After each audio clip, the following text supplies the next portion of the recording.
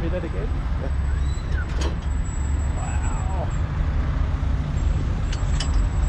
Well, so so the truck's a 41. Right. The tr- they bought the truck brand new. This is the original owner of the, the truck. Yep. And they ordered it from a place in uh, in our town. And um, the trailer's old. Really? Yeah, but the truck and trailer's been together since 41.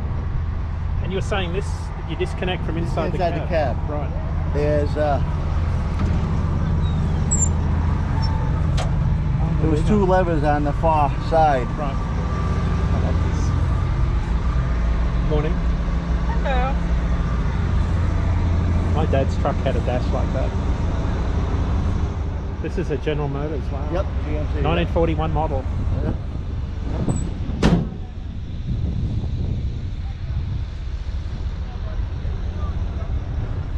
That is so cool. this is amazing. So you disc you pull that lever and the oh, You legs pull- are you- automatically are- drop. Uh, oh no, so here's what happened. There's two levers in the cab. One lever puts the brakes on on the trailer so the trailer doesn't move Right. when you, you know. And then the other lever pulls the pin. Yep. And then when you come forward, this is spring loaded and it comes forward. And then the dolly wheels go down. You can see the, the stages that goes down. See the stages down there? Boom, boom, boom, boom. Oh wow. And then they hit the ground. And then it's just the opposite when you're back into it. So if in the back in the time, why did they do that? You know why? So why they did that is because the old trailers used to have single stage Wind down.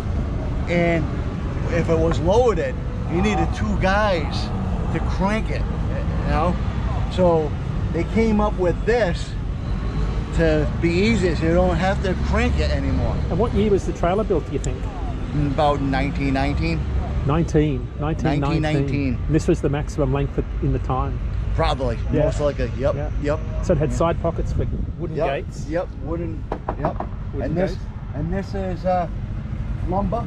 This is a roller, Oh yeah. and this was a free rolling roller. There was a, there was a, um, a clip here. You put the bar in there, undo the clip. The lumber would be for your house. The lumber would be on top of here. They would take the truck, back it up, jam on the brakes. The lumber would slide off, boom, and then they pull away from it. That's magnificent. That's how they used to do it back in the day. That is incredible.